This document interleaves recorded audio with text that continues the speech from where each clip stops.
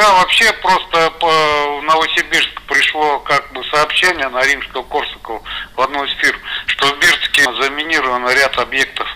Но все проверили, ни, никаких минирования нет. Это вот лож, ложное заявление о террористической направленности.